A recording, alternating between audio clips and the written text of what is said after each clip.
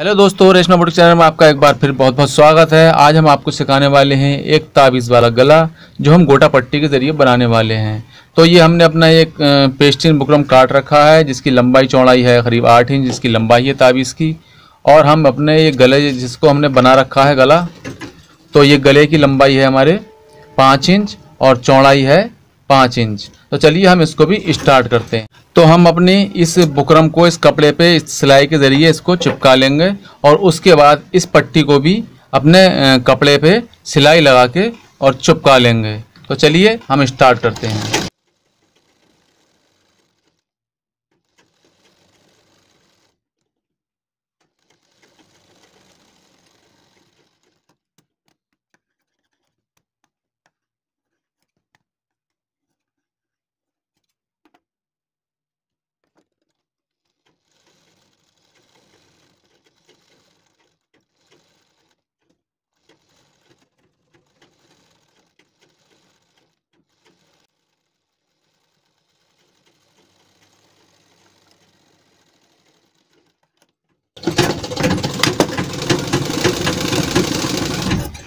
ये हमारी सिलाई लग चुकी है। हमने बढ़ती कपड़ा इस तरह काट दिया है। काटने के बाद में इस तरह से हम फोल्ड करके बीच में अपने इसको एक नाखून के ज़रिए क्रीज बना लेंगे।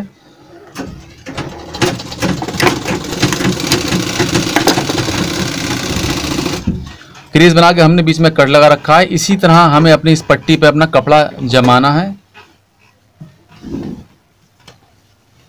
इस प्रकार अगर आपका बुकरम चिपकने वाला है तो आप इसे चिपका भी सकते हैं और प्रेस से इस तरह से लौट सकते हैं। तो हम इसको इस तरह से प्रेस से अपने सिलाई से इसको लौट लेंगे। इस प्रकार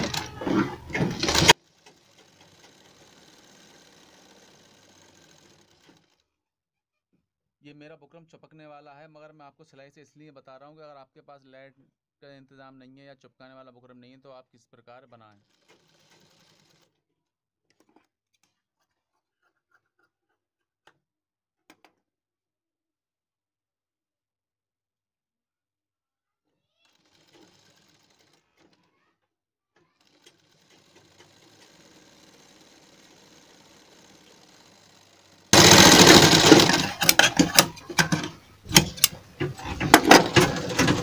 ये हमारी पट्टी हो चुकी है तैयार। अब हम इसे हम अपनी कुर्ती में लगाएँगे। हमें अपनी पट्टी तैयार करने के बाद हम इसको अपने लेस को लगाएँगे इस प्रकार। अपनी पूरी पट, लेस पट्टी पे इस तरह।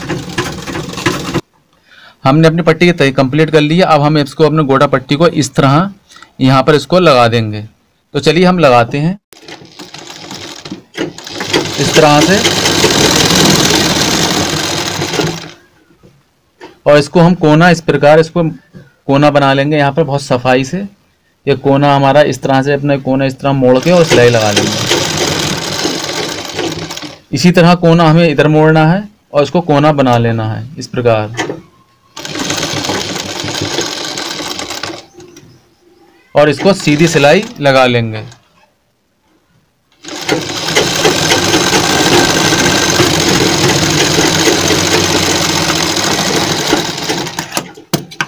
यहाँ से उसको हम कट कर देंगे। और अब हमें अपनी कुर्ती में, हमने अपने बीच सेंटर में कट लगाया हुआ है, यहाँ पर। और इस पे हम अपना गले का तो हमारे गले का लंबाई है, इसकी इस तरह से हम इसको रख के देख लेंगे, और इससे एक इंच ऊपर हम निशान लगा देंगे इस प्रकार। और निशान लगाने के बाद में हम इसको, अपनी पट्टी को बीच सेंटर में मिला के इस तरह चिपका देंगे।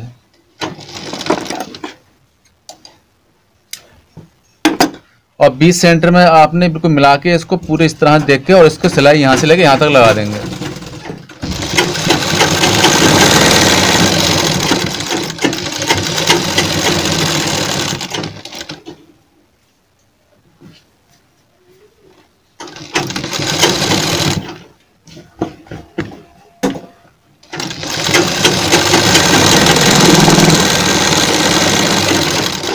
सिलाई हमारी हुई कंप्लीट यहाँ पर। अब हम अपना जो हमारा गला है, वो हम इस कुर्ती पे अपने अब लगा देंगे।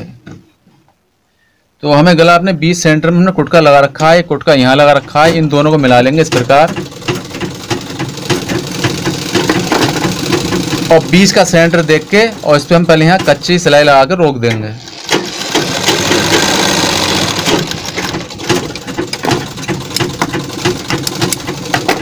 अब हमें अपना धागा कट करके और हमें इस पर पूरी सिलाई लगा देना है।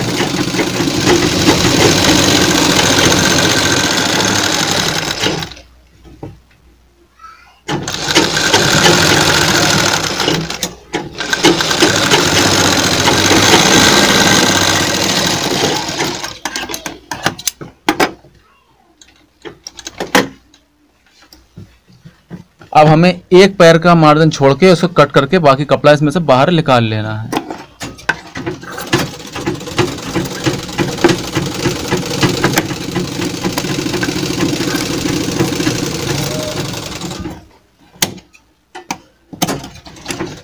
और हमें अपनी गोलाई पे यहाँ कुट के मार देना है इस प्रकार। कट, जो हमें गला सीधा करने में परेशानी ना हो।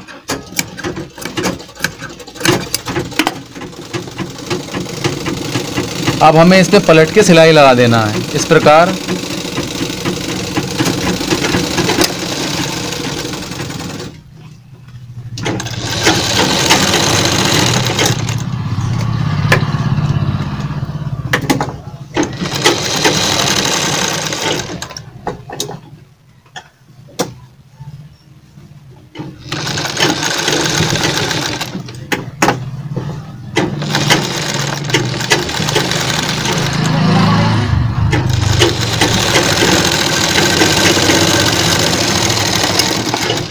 ये गला हुआ हमारा कंप्लीट